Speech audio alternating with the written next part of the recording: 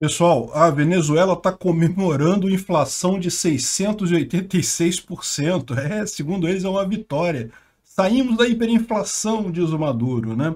Essa notícia foi sugerida por Daniel Carvalho e mais outras pessoas. Obrigado a todo mundo que sugeriu a notícia.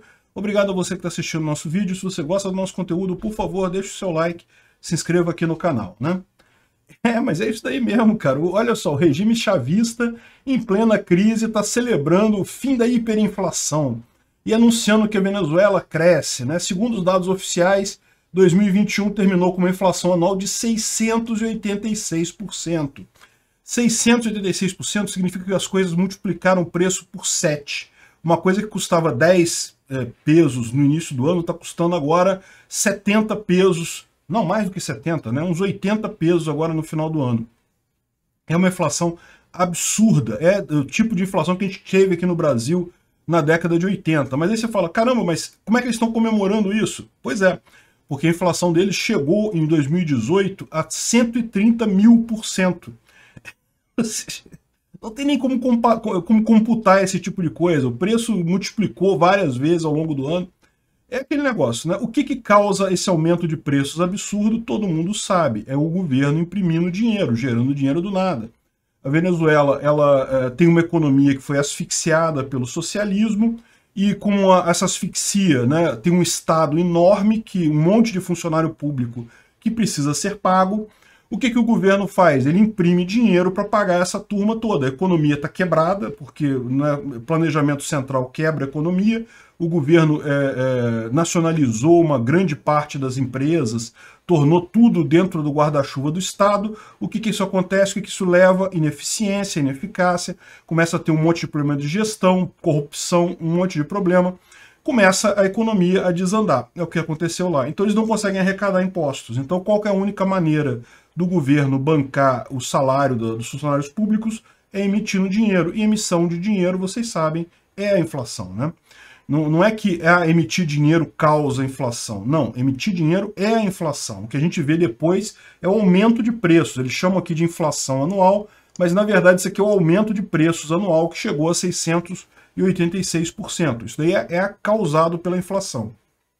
Enfim, é, qual que é o grande problema aqui? Você pode falar assim, caramba, mas então qual foi o milagre que aconteceu lá? O que, que houve de tão fantástico? Né? Porque eles saíram de 130 mil por cento ao ano para 686% ao ano, né?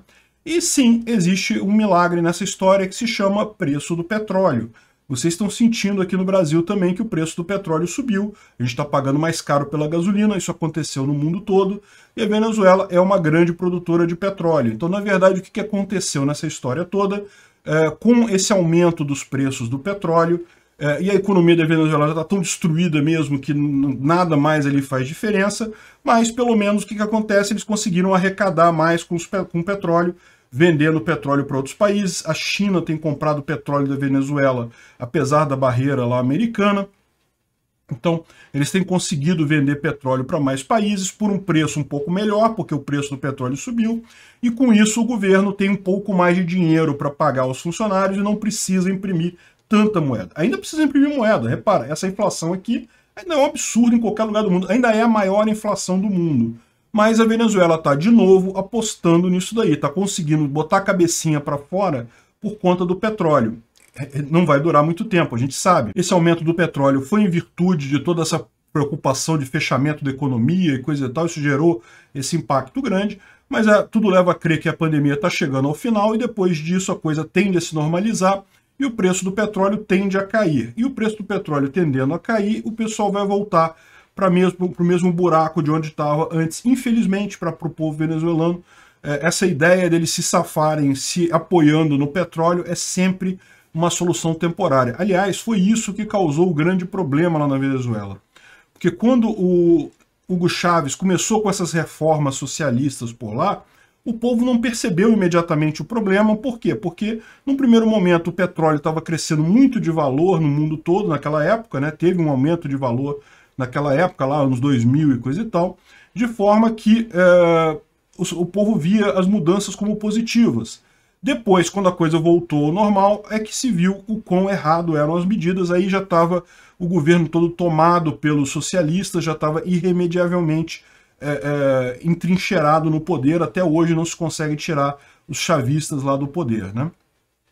Então, realmente, isso é uma coisa bastante crítica. É, esse é o segredo da Venezuela para ter saído da hiperinflação.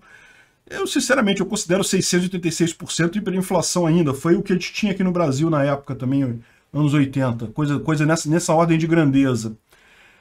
E, mas é esse daí que é o segredo. Infelizmente, é, pode esperar que, é, enquanto tiver socialismo lá, enquanto tiver os, os chavistas por lá, enquanto a economia continuar destruída do jeito que está, não tem alternativa. Obrigado por assistir o vídeo até o final. Além de curtir, compartilhar e se inscrever no canal, considere se tornar patrocinador com valores a partir de R$ 1,99 clique no botão Seja Membro abaixo para saber as condições e vantagens de patrocinar o canal. Mais informações sobre o nosso projeto, visite nossos sites indicados na tela.